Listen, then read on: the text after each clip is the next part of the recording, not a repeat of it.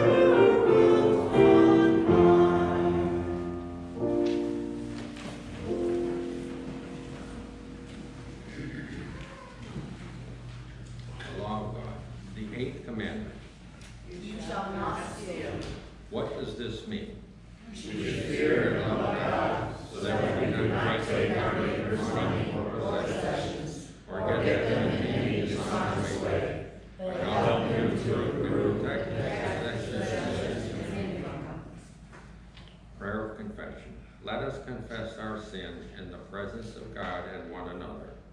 Merciful God, I confess that I have often sinned against you in thought, word, and deed. I want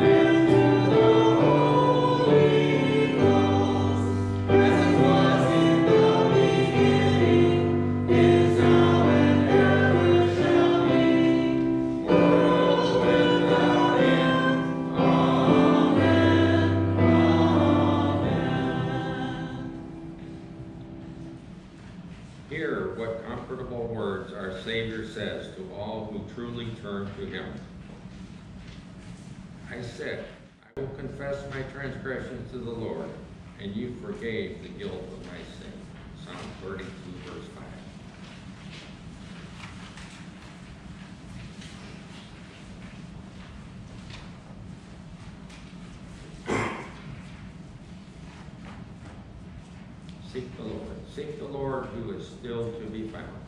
Call upon God, who is yet at hand, Let the wicked forsake their way. and the unrighteous their thoughts.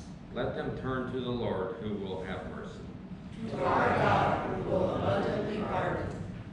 For my thoughts are not your thoughts. Nor are your ways my ways, says the Lord. For as the heavens are higher than the earth, so So are are my my ways ways higher than your your ways, and my thoughts than your thoughts. For as the rain and snow fall from the heavens, and return not again, water the earth, Bringing forth life and giving growth. giving seed to the sower and bread to the hungry. So is my word that goes forth from my mouth. I shall not return to my empty, But it shall accomplish that which I desire. and achieve the purpose for which I sent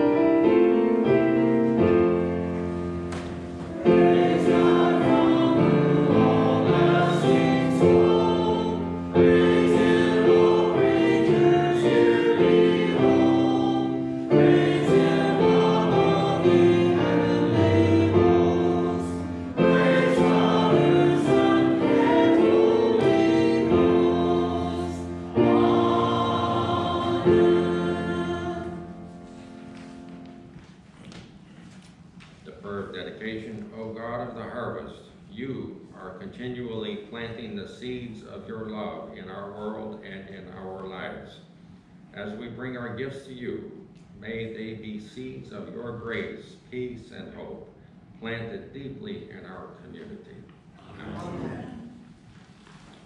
And now we have the peace and greet in, in place, and, uh, as we greet one another.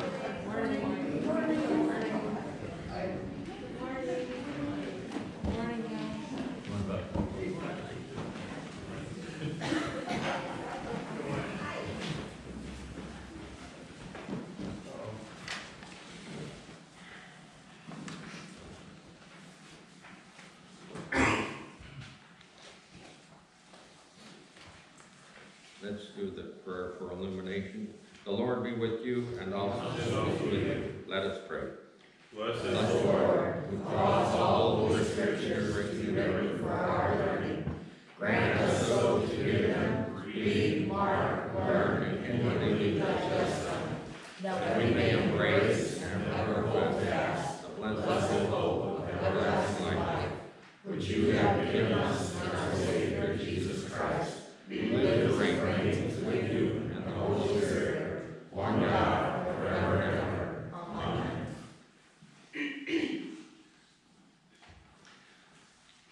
The first reading is from Joshua 24, verses 1, 3, 14 to 25. Choose this day whom you will serve. We will serve the Lord. Joshua summoned all the tribes of Israel to Shechem, including their elders, leaders, judges, and officers. So they came and presented themselves to God. Joshua said to the people, This is what the Lord, the God of Israel, says.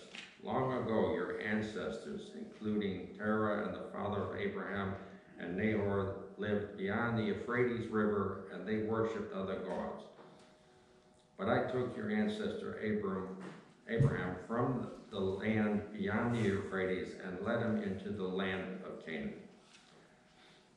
So fear the Lord and serve him wholeheartedly. Put away forever idols of your ancestors, worshipped when they lived beyond the Euphrates River and in Egypt. Serve the Lord alone. But if you refuse to serve the Lord, then choose today whom you will serve. Would you prefer the gods of your ancestors served served beyond the Euphrates, or will it be the God of the Amorites in whose land you now live? But as for me and my family, we will serve the Lord. The people replied, We would never abandon the Lord and serve other gods. For the, for the Lord our God is the one who rescued us and our ancestors from slavery in the land of Egypt. He performed mighty miracles before our very eyes as we traveled through the wilderness among our enemies. He preserved us. It was the Lord who drove out the Amorites and other nations living here in the land.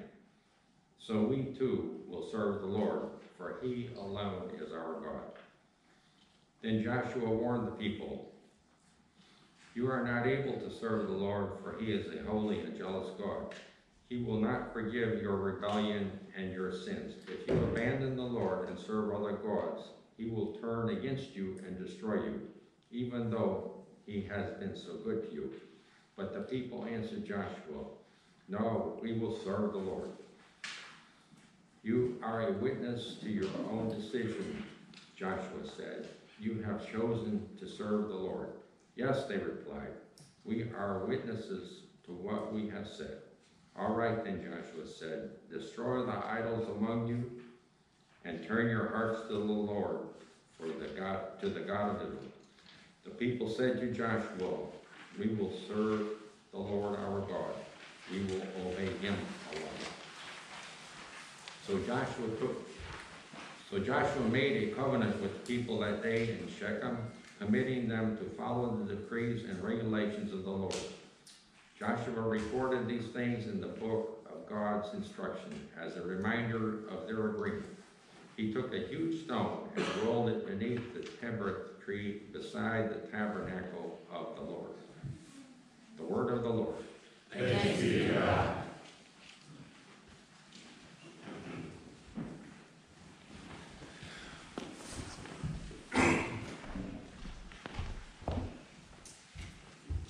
Morning.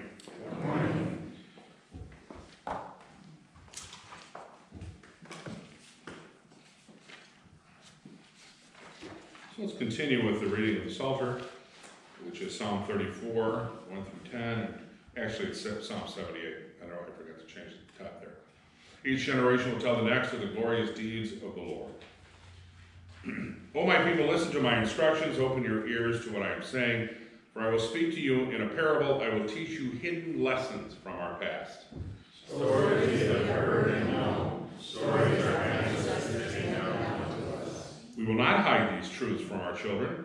We will tell the next generation about the glorious deeds of the Lord. about his power and mighty wonders.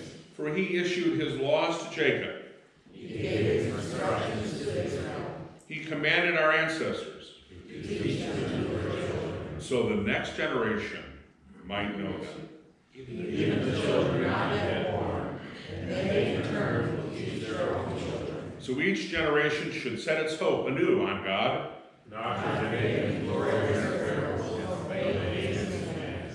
Glory to the Father, and to the Son, and to the Holy Spirit. As it was in the beginning, is now, and will be forever.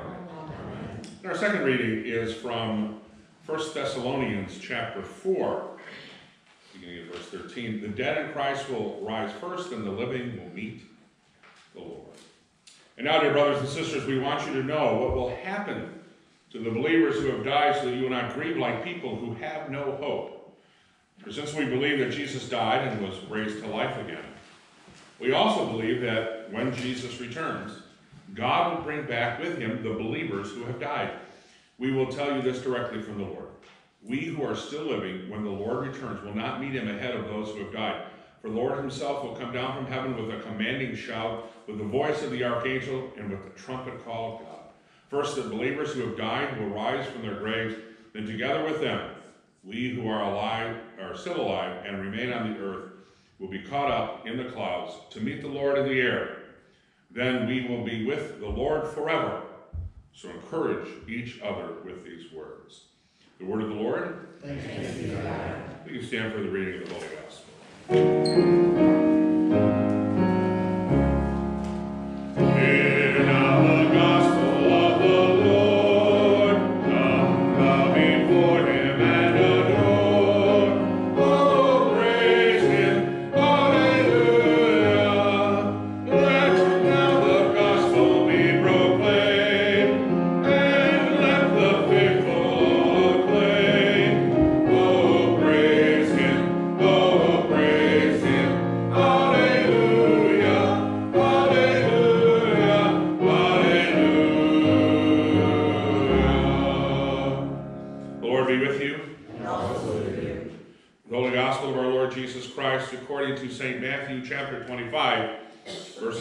Thirteen.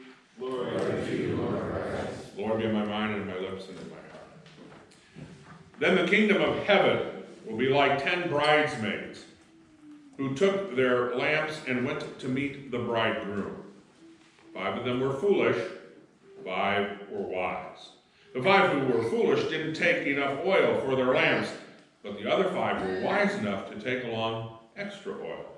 When the bridegroom was delayed, they all became drowsy and fell asleep. At midnight, they were roused by the shout, Look, the bridegroom is coming. Come out to meet him.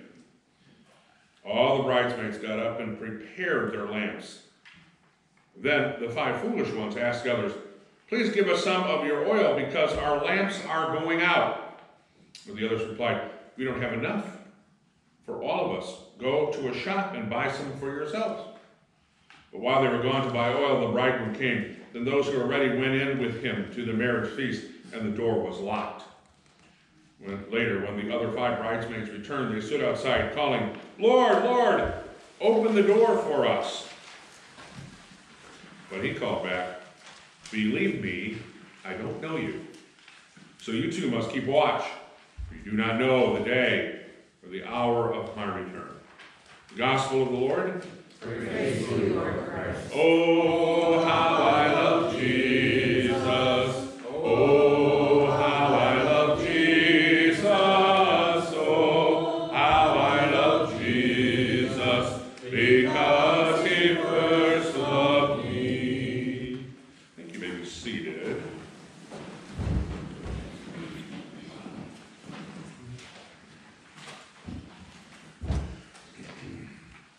So for the next uh, three weeks, starting today, uh, we're going to be looking at Matthew 25. Now, let me tell you uh, a, a little bit of a problem that occurs with uh, the way we teach the faith. I, I'm not really saying it's uh, wrong, but it, it does it need to be explained a little bit. we tend to look at what we call pericopes. Those are passages of scripture, right? So we have this pericope, and it's almost as if you had a big board, and you could stick these pericopes on the board, that would be, and it's just like they're in isolation. Because that's not the way it works. The passages of scripture we take are in a context. They're part of a larger whole. And they're put there on purpose. They just kind of fall down, and, oh, let's just arrange them and say that's the way they go. Well, they're there on a purpose. And so, for example, John, the author of the fourth gospel, says uh, there are many other stories we could tell about Jesus. He writes this at the end of his gospel. But the world could not contain all the books that we had to do. And actually, that's true now. We have so many books about Jesus, that's what happens. But all we have are these little stories. And he goes, But these have been written that you may believe that Jesus is the Christ, and believing you may have life in his name. So they have a purpose. Right? So what John's purpose was, I want to tell you these stories about Jesus, so at the end of it you'll say, wow, he's the Christ, the Son of the living God. There you go. Okay? That's the point. Well, Matthew has that point as well. And so now we have Matthew 25, and it's really a great chapter. Really powerful. Got three really great parables in there. Of course, parables are stories. We should know that as well. They're not intended to be taken literally. They're intended to be used, use metaphors figuratively. And this is what most Bible commentators will tell you don't push them too far. The details aren't going to always match up. You know, you start asking questions that get really into the details, you're missing the point of the story. You're getting lost in the details and forgetting what's the thrust of the story. So the parable is told to make a point, and we, sometimes you can go too far with the other things that are ancillary and don't really fit. So that's just a caveat, just a warning. Okay. So what we have here is Matthew 25 in the midst of the last week of Jesus' life. So Matthew 21, we start, and of course we'll end in Matthew 28 with the resurrection and his appearance in the Great Commission. Go therefore into all the nations, baptizing uh, in the name of the Father, teaching them to obey everything I command, and baptizing them in the name of the Father, Son, and Holy Spirit. So that's the very end. Lo, I be with you always to the end of the age. Right? That's the end of that week that we have. But he starts by a triumphal entry into Jerusalem. So he goes into Jerusalem, and they welcome him. Hail the Son of David! Blessed is he who comes in the name of the Lord, even the Son of David. And they throw down the stuff and, and welcome him into Jerusalem as the coming Messiah. That was Messiah language that they were using. God's anointed would come and rescue them from the kingdom of this world. We'll rescue them from the Romans. We'll rescue them from the other kingdoms and principalities and powers of this world. The king is coming. We're welcoming in. Finally, God is going to break through and restore the kingdom of the great David to now great David's greater son. See, blessed is he who comes in the name of the Lord, even the son of David. That's, that language is very, it's not just, oh, well, we'll use it this time and something else. very specific. Even the son of David. That's Messiah language. So now then, Jesus goes into the temple. So that was that day. The next day, he goes into the temple. Got Monday. And he, he clears the temple. I said, what's he doing? What's, what's his action there? What he's saying is the temple is not acting like it should. It's been polluted. It's not doing the right thing. It's supposed to be the place where heaven and earth meet. It is to be the dwelling place of God. It is to be the place where God's truth goes forth and into the world. And to be a light. And it's corrupt and polluted. It's not any good. And Jesus says, you know what? Destroy this temple. I will destroy this temple in three days and rebuild it. What? It took 46 years to build this latest remodeling job on the temple. Three days. Of course, he meant his body. And so what he's saying is, I'm going to do something new. I'm going to take what we have, and I'm going to supersede it. I'm going to make it something better and greater. And then he starts teaching about the kingdom in these parables. In chapter 23, he talks about people that aren't doing it. And so there's a lot of consternation because he lashes out at the Sadducees and the Pharisees and the hypocrites, calls them hypocrites, and says, Listen, they tell you what to do, but they're not doing it themselves. And actually, it's not so, everything they say is not wrong. They got some good insights, but they don't do it, so you don't want to watch it because they're not doing it. Then he comes to chapter 24. In chapter 24, of course, by the way, one other point, you know, when the Bible was written, they didn't have chapters and verses. That's a later edition. It's only 500 years. Before that, we didn't have any of that. Okay, but it's just helpful for notations.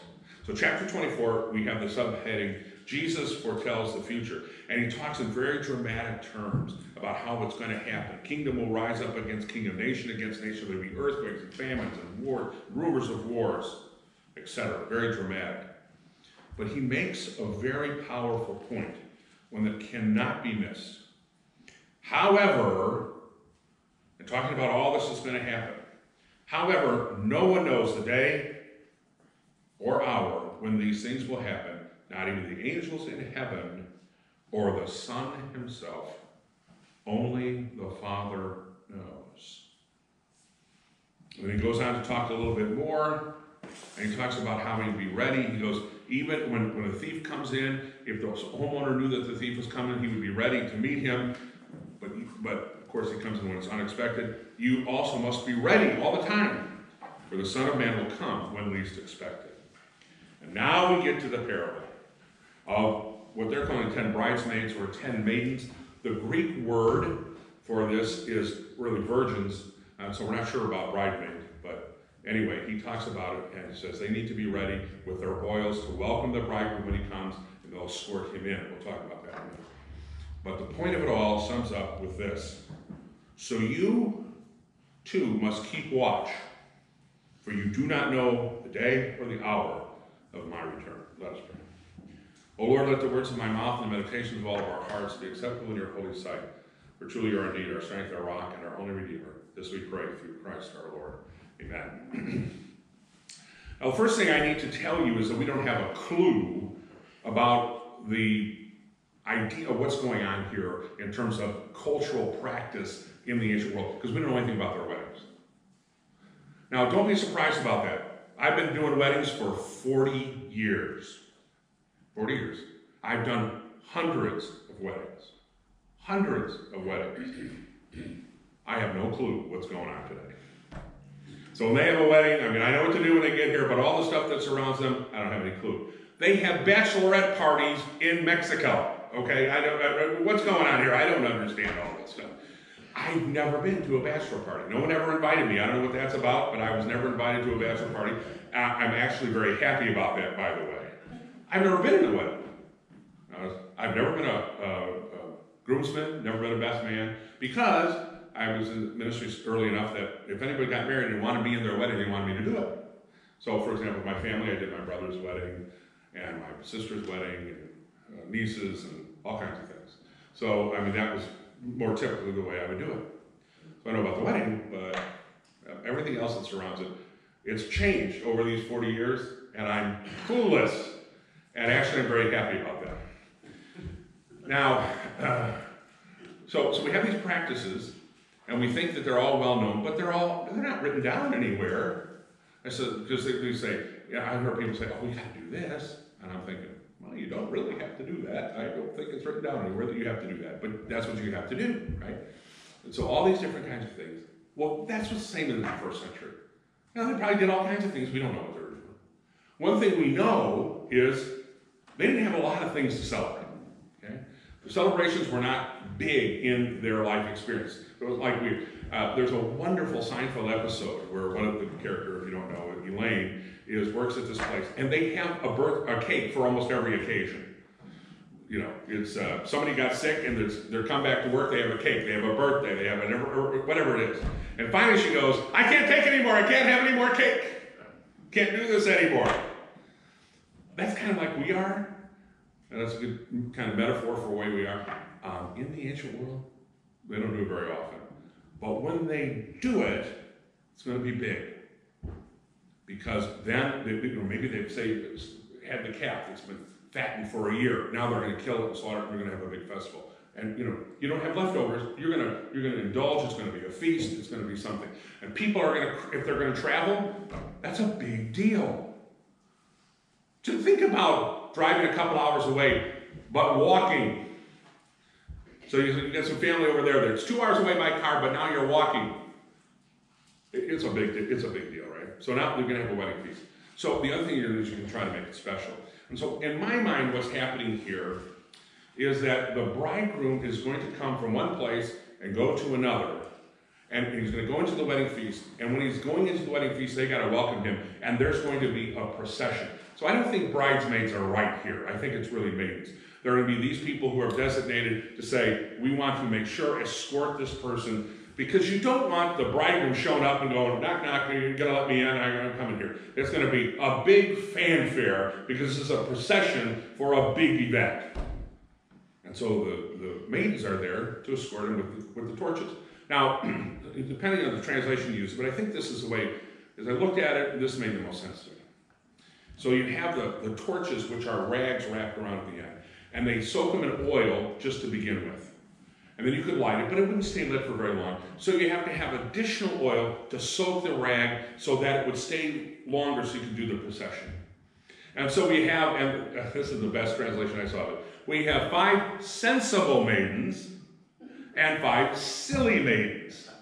The sensible maiden said, okay, well, we're going to need to have this oil, so we'll have it with us, so we'll be ready, we'll be prepared, so that when the bridegroom comes, we can do it. And the silly ones are like, oh, whatever, whatever, you know, and so they, they, they, they just don't have the oil. It's not like a big moral lapse. It's important to see that. It's just they're not paying attention. They're not thinking. They're not saying, what's important? What do I have to do?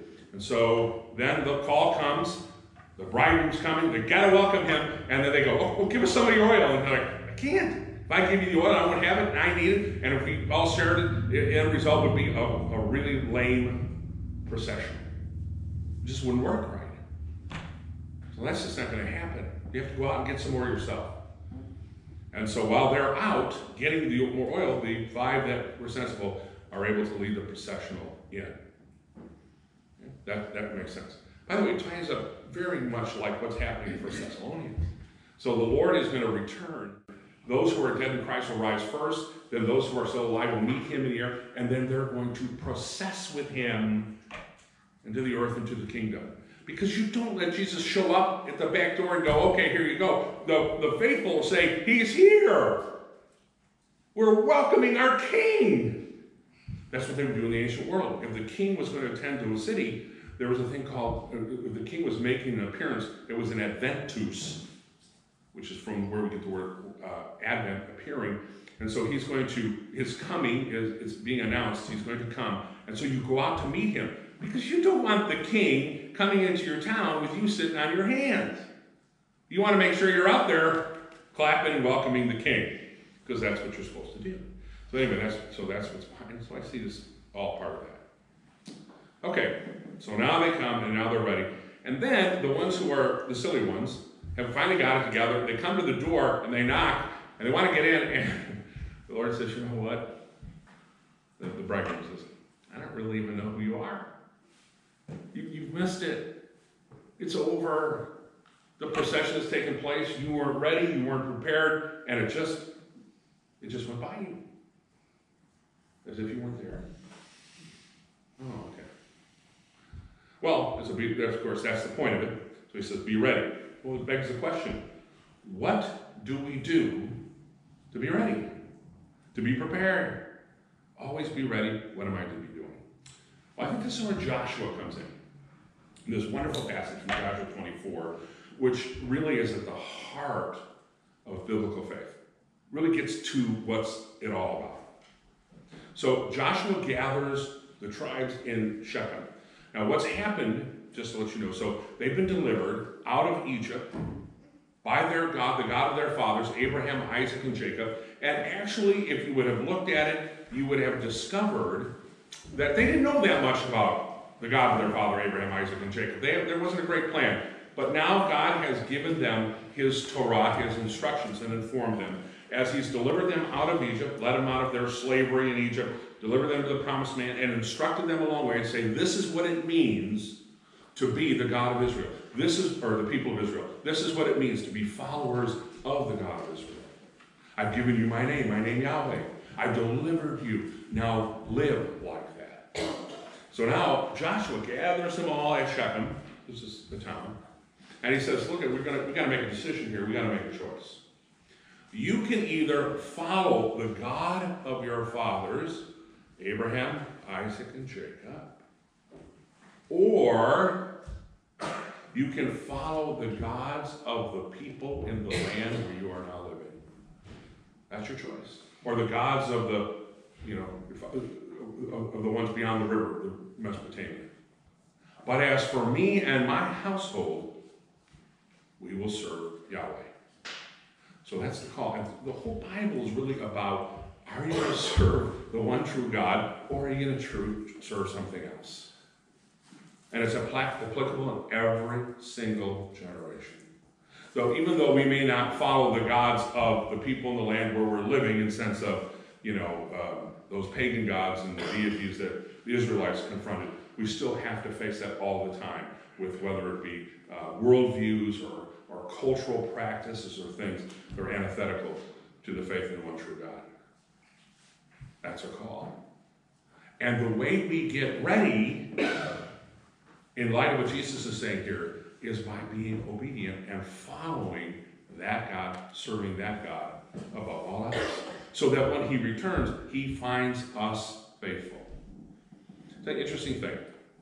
So sometimes it's been presented, and Jesus lays it out against the Pharisees and the Sadducees and so forth. But it's been presented sometimes that these people are trying to earn their way to heaven, doing what we call works righteousness. That's really a 15, uh, a 16th century thing and the Protestant Reformation. It doesn't exactly apply in this case. What they're doing is say, they looked and they said, well, God has given us these instructions, so we're to follow them. And we want to follow them so well, so punctiliously, that when God comes, when the Messiah comes, he will find that we have been faithful all this time. We have been doing what we're supposed to be doing, not violating the commandments in any way. Now, um, of course, we believe Jesus has come, the Messiah has come here, and there's a lot of other things going on. And I think another criticism we would have is that they have uh, not seen the forest for the trees. That's Jesus's criticism about some of the things that are going on, and that's a different matter. But understand what their motivation is. Essentially, that's what our motivation is here. We want to follow God and be ready by doing what it is that God wants us to do. Loving the Lord your God with all your heart, soul, mind, and strength. Loving your neighbor as yourself. On these two commandments hang all the law and prophets, and Jesus saying, Go and do that. When you go and do that, you're being ready, you're being prepared for when the bridegroom comes. Now, I hesitate to give you this one, but I will anyway. so we have Matthew 25. There's three parables in Matthew 25. There's this one we're looking at. The next one is about faithful management. So when, when the master returns, they'll find that they have been faithful with the things they've been entrusted to. We'll talk about that next week. But the third week is Matthew, the end of Matthew 25. Now, wonderful, wonderful passage where it says, and Jesus has separated the sheep and the goats. The, the heading on it is the final judgment. And he says to the sheep, Come and inherit the kingdom prepared for you before the foundation of the world. Why? Because I was naked and you clothed me. I was hungry and you fed me. I was sick and in prison and you visited me. Wait a minute. I don't recall ever doing that. That's what the, the sheep say, the faithful ones. They say, we don't remember doing that. And Jesus says, when you did it to one of the least of these brothers of mine, you did it unto me. That's being ready. Right? They're doing it. They're just doing it. They don't say, okay, well, he's coming. Oh, okay, uh, announcement's been made, he's coming. So now, let's go out and do something real quick too, so we can tidy it up and we'll be all set. It's too late. It's too late. And then he says to the goats, I don't know why sheep, why don't goats? You know, there's one of those things. But he says to the goats, Depart from me. I never knew you. Right? Remember this one? He says, to the knock on the door, I'm sorry, I don't know you. I never knew you. For I was hungry, I was naked, and, and you didn't clothe me. I was hungry, and you didn't feed me. I was sick in a prison, you didn't visit me. Wait a minute. You, we didn't ever see that. And he will say, When you didn't do it to the least of these brothers of mine, you didn't do it unto me. Oh, you silly, silly ones. That's really what it is. You thought at the end you could quickly make a difference, and you can't. You make a difference every day, every moment, while you're doing and being obedient, while you're serving Christ, doing that. That's how you are prepared. So that when this one comes, look, the bridegroom's coming. The announcement, the procession is there. And he finds you, he says, Well done, thou good and faithful servant. Inherit the kingdom that was prepared for you before the foundation of the world. We're ready. Yes, we're ready for Christ. So it doesn't become something threatening, but something wonderful because we're welcoming our King and making and honoring him and glorifying him by what we do and what we say. So always be ready. Let us pray. Thank you, Lord, that you have called us into your family. Thank you, Lord, that you have incorporated us into the community of your Son. We call it the Church of Jesus Christ. Thank you that we can serve you and love you, but help us to do it and always be prepared so that, using the metaphor, the oil in our lamps will not burn out, but will, will burn brightly and shine forth gloriously of your radiance and your glory, your kingdom. For it's in Jesus' name that we pray. Amen. Let's stand together and affirm our faith in the words of the Nicene Creed. I want to say one thing. Then we're going to sing this wonderful hymn, this Wesley hymn, Come Sinners to the Gospel Feast. So just remain standing, and, and that's on the next page. Let's uh, continue. Let us confess the faith of the one holy Catholic and universal and apostolic church. We believe in one God, the Father, the Almighty, maker of heaven and earth, of all that is seen and unseen. We believe in one Lord, Jesus Christ, the only Son of God, eternally begotten of the Father, God from God, light from light, true God from true God, begotten, not made, of one being with the Father. Through him all things were made. For us and for our salvation, he came down from heaven, was incarnate of the Holy Spirit and the Virgin Mary, and became truly human. For our sake, he was crucified under Pontius Pilate. He suffered death and was buried. On the third day, he rose again, in accordance with the Scriptures. He ascended into heaven and is seated at the right hand of the Father. He will come again in glory to judge the living and the dead, and his kingdom will have no end. We believe in the Holy Spirit, the Lord, the giver of life, who proceeds from the Father, who with the Father and the Son is worshipped and glorified, who has spoken through the prophets. We believe in one holy Catholic and apostolic church. We acknowledge one baptism for the forgiveness of sins. We look for the resurrection of the dead and the life of the world to come.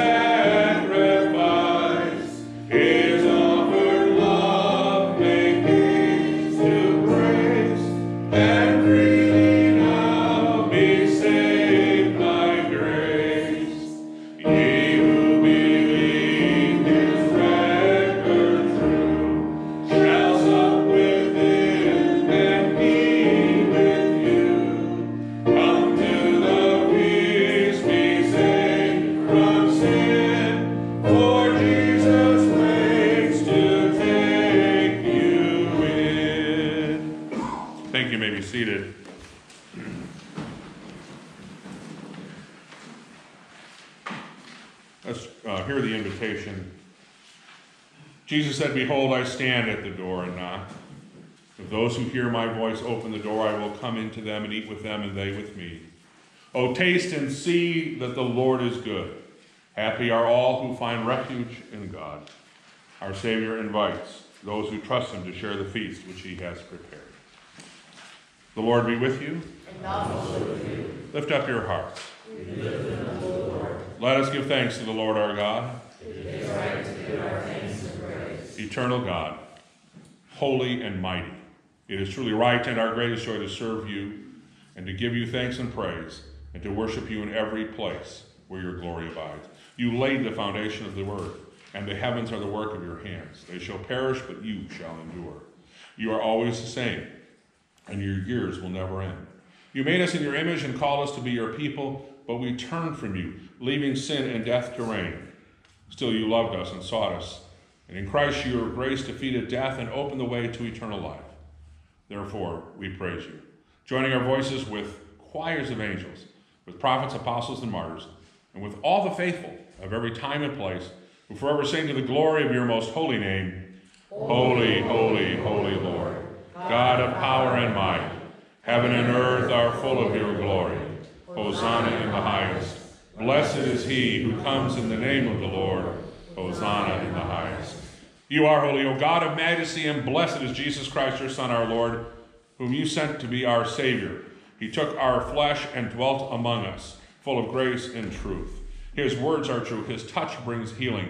To all who follow him, he gives abundant life. When evil sought to destroy him, and he lay in the darkness of death, you raised him from the grave. He is our risen Lord forever. We give you thanks to the Lord Jesus, and the night before he died, took bread. After giving thanks to you, he broke it, gave it to his disciples, and said, Take, eat. This is my body, which is given for you. Do this in remembrance of me. In the same way, after supper, he took the cup. Again, he gave thanks, gave it to his disciples, and said, This cup is the new covenant, sealed in my bloody in my blood, uh, shed for you and for many for the forgiveness of sins. Um, each time we celebrate this, uh, we remember the coming of our Lord Jesus and his great sacrifice. We do this in remembrance of him. Remembering all your mighty and merciful acts, we take this bread and this wine from the gifts you have given us and celebrate with joy the redemption won for us in Jesus Christ. Accept this, our sacrifice of praise and thanksgiving, as a living and holy offering of ourselves, that our lives may proclaim the one crucified and risen. Let us therefore proclaim the great mystery of faith. Christ has died, Christ is risen, Christ will come again.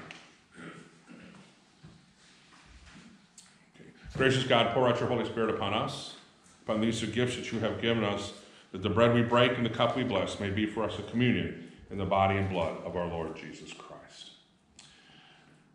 Uh, let me ask, are there any prayer requests that need to be made at this time? Any prayer requests? Yes. Pray for Linda. Pray for Linda. Yes. Um, we got an email from our grand, from our daughter-in-law. Her uh, daughter Betsy, who's our granddaughter, is a nurse at the Holland Hospital.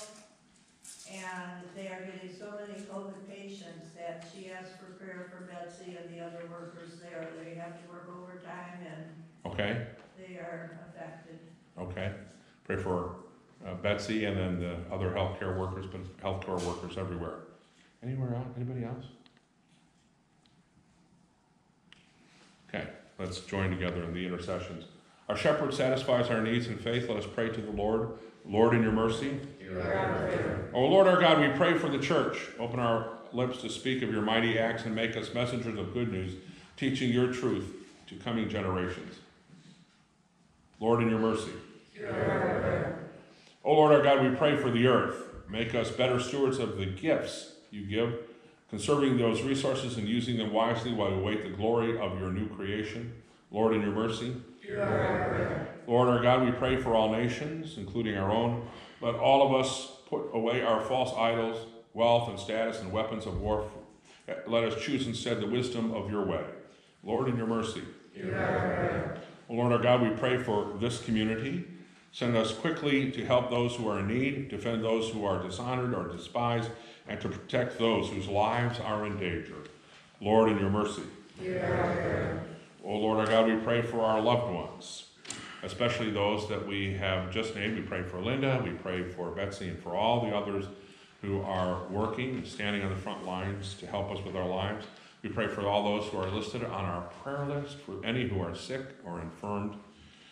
Uh, give hope to those who worry or grieve, a hope that is firmly established in Christ and in the power of his resurrection. Lord, in your mercy.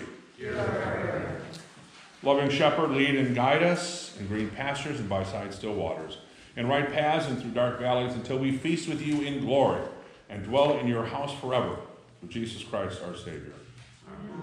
Number us among your saints, O God, and join us with the faithful of every age, that strengthened by their witness and supported by their fellowship, we may run with perseverance the race that is set before us, and may with them receive the unfading crown of glory when we stand before your throne of grace. Give us strength to serve you faithfully until the promised day of resurrection, when with the redeemed of all the ages we will feast with you at your table in glory. And as our Savior Christ has taught us to pray, so we are bold to say, Our Father, who art in heaven, hallowed be thy name. Thy kingdom come, thy will be done, on earth as it is in heaven. Give us this day our daily bread, and forgive us our sins as we forgive those who sin against us. And lead us not into temptation, but deliver us from evil. For thine is the kingdom, and the power, and the glory forever and ever. Amen.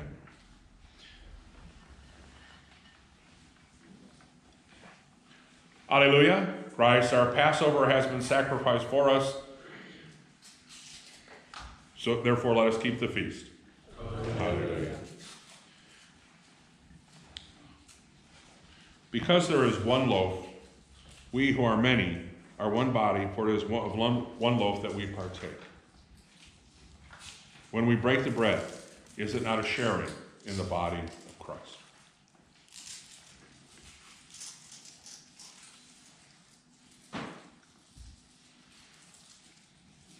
When we give thanks over the cup, is it not a sharing in the blood of Christ?